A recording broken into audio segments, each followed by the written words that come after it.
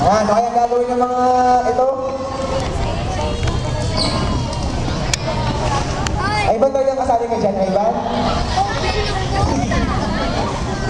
Hindi naman siguro kayo nung kahapon.